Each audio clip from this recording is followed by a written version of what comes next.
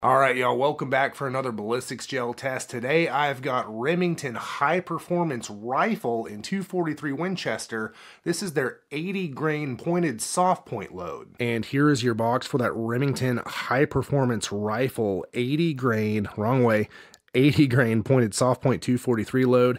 Now, they do have their deer icon on here, meaning that as far as I can tell, this is meant for deer hunting. We'll see how it performs in ballistics gel and, you know, whether or not I would use it on deer.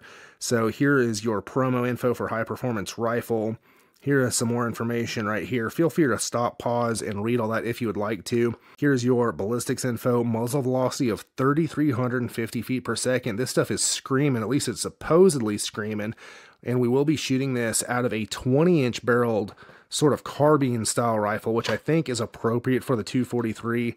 A lot of people have youth rifles chambered in this caliber with a little bit shorter barrel. We'll see how close we get to that spec velocity. We'll yank one out, take a look. And there it is. Short little kind of stubby bullet for the 243. Let's go shoot it and see how it does. And my test rifle today is my Winchester Model 70 Featherweight Compact, chambered in 243 Winchester, of course. It's got a 20 inch barrel. Up top, I've got a Leupold FX2 6 power scope. And coming on back, I've got one of my handmade leather cartridge cuffs. I've got 243 stamped right in it. Check out my website, masonleather.com. It will be linked in the description and the pinned comment. I would absolutely love to make you one. And coming over the other side, I've got my whitetail deer design. We'll be taking three shots from 100 yards, firing into 10% ballistics gel that has been calibrated to meet the FBI's ballistics testing protocol. And while ballistics gel isn't an exact proxy for big game, it does provide a repeatable medium through which to test various bullets and ammo against each other. After the shots, we'll examine bullet expansion, weight retention, penetration, and velocity.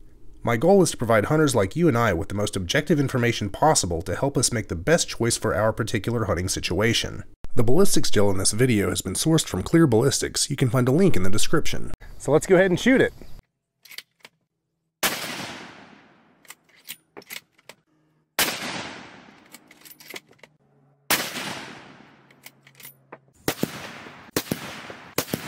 And let's go ahead and take a look at the velocities for that Remington high performance rifle, so called 80 grain pointed soft point.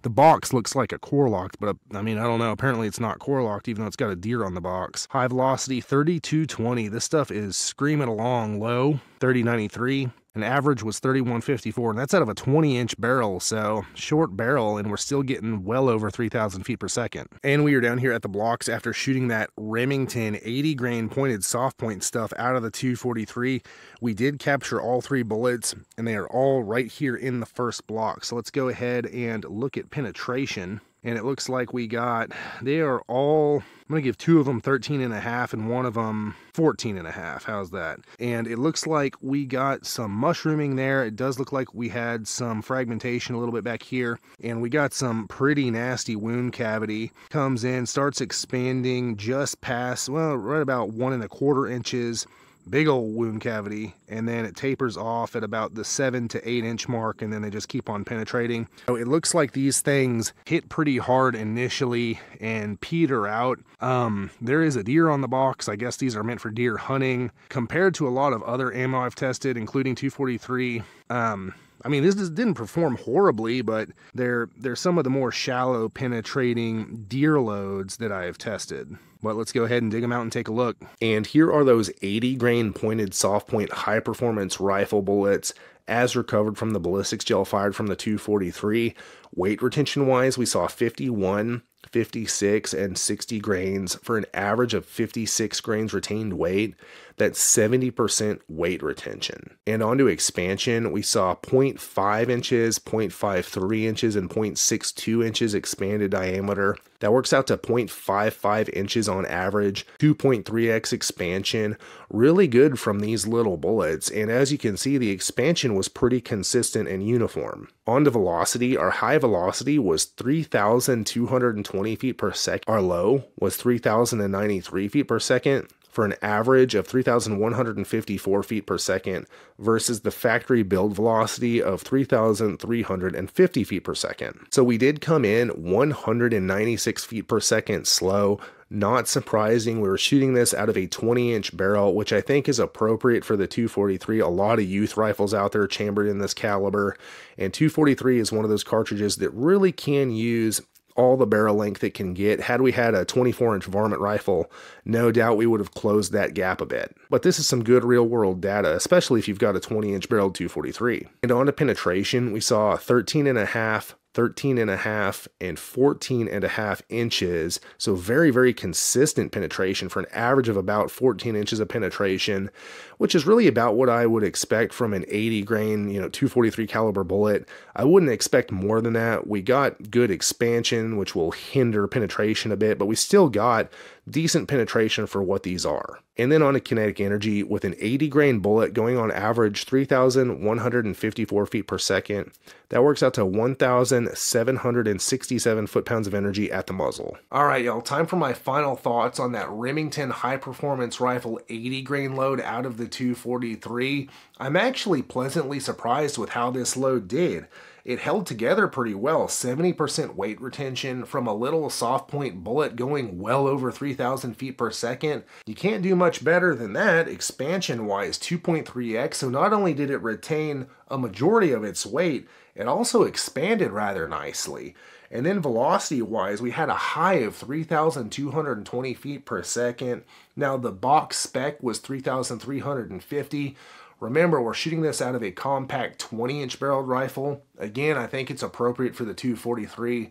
There's a lot of compact and youth rifles out there in 243. A lot of kids use it with, you know, shorter, more compact rifles, shorter barrels. So I think this is real good real world data. If you've got a longer barrel 243, no doubt you'll see a little bit more velocity, but I'm actually surprised we saw it as high as we did. And then penetration wise, very consistent, averaging 14 inches. I'm actually pleasantly surprised it went that deep with how small this bullet is, how much it expanded and having shed 30% of its weight. Now, as far as deer hunting with this ammo, remember on the box they have a little deer icon. I don't know if it would be my first choice. Well, I do know it definitely wouldn't be my first choice or probably even my 10th choice for deer hunting with a 243. Would it get the job done? I'm sure it would. Whitetail deer aren't the toughest critters in the world. If you make a real good shot, it would definitely put one down. But for my money, I think there's definitely better options out there what would I use this ammo for? I don't know, coyote hunting, predator hunting, stuff like that. I think it would be an excellent choice for that. And check out my website, masonleather.com, and get yourself some leather gear handmade by me just for you. I've been handcrafting leather gear for hunters for over a decade and I would love to make you something. And there are hundreds of reviews on my website so you can see what real hunters have to say about their mason leather gear. And also tons of photos showing all the customizable options, including name, initial, and caliber stamping, as well as wild game designs and more. Everything is handmade by me right here in the USA. I would love to be a part of your hunt through my leather gear. And it helps support this channel, so I can bring you more hunting ammo ballistics gel tests, and lots of other cool stuff in the future. The link will be in the video description and the pinned comment, or you can just type masonleather.com into your web browser. And click one of these cards for more hunting ammo ballistics gel tests.